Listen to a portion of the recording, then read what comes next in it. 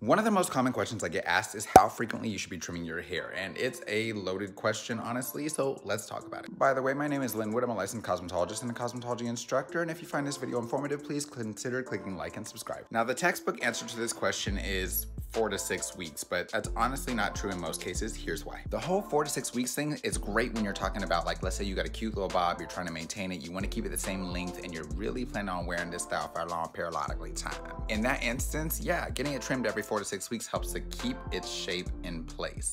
That's not really for people who are trying to grow their hair out though. So how long should you go between trims if you're trying to grow your hair out? Well, that's a little bit of a tricky question and it's gonna depend on the fabric of your hair. And yes, I intentionally call it a fabric of hair because everyone's hair is different and it's gonna boil down to whether your hair is coarse, medium, or fine in terms of diameter, not in terms of curl pattern. I have a whole separate video for that if you need it. Now, if your hair is fine and you've been taking proper care of your hair, meaning you're sleeping on satin, keeping your moisture protein balance where it should be, things like that, you could probably go eight to 10 weeks without seeing any split ends at all in between your trims, rather than going six to eight weeks. That way you're able to see some growth, lightly dusting those ends and still seeing that growth be able to be retained and all that. However, fine hair is much more prone to breakage, so just keep that in mind. In the instance of medium to coarse hair, a lot of times you can go a bit longer, especially for taking proper care of that hair, which means that you're sleeping on satin, like a satin pillowcase like this right here, or you're sleeping on silk, things like that, or you're having your hair tied up in those type of fabrics.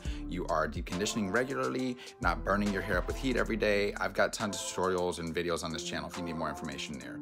If you have a coarser fabric of hair, you can go a bit longer without having to trim for the sake of removing split ends. So what does that mean? If you have a coarser fabric of hair with proper care, you can go to three months, maybe a little longer without seeing any degree of split ends, things like that. Usually around the three month mark, even with proper care, you're gonna see at least a small amount of split ends. But if you're natural, you may not even realize that those ends are split. So let's talk about that too. You see, commonly with natural hair, people will often think that their hair is just dry, or they're seeing those little balls on the ends of the hair and they're just thinking that there are some knots in there. Those little balls on the ends of the hair are a sign of split ends. Dryness and split ends often mimic each other with natural hair as well. So a lot of times what I'll recommend that people do before they even think about going to get a trim so that way they're not getting too much cut off is to deep condition with a moisturizing product, not a strengthening product, not a restorative product, not a repair product moisturizing. It needs to specifically say moisture not protein, prior to going and getting your hair trimmed. That way, if you have a stylist that's a little less experienced, they're not mistaking dry hair for split hair and cutting hair that's tangling because it's dry versus cutting hair that's tangling because it's split. And that's a big deal. You may also notice if your hair is split that you're having issues with your curls being as defined as they used to be. So if you have naturally curly hair, the ends of it may not keep the same level of definition as the rest of your hair. If you have naturally straighter hair and you curl your hair, that hair is not keeping those curls on the ends. If you have naturally curly hair and you're straightening your hair, those ends aren't staying straight, but the rest of it is.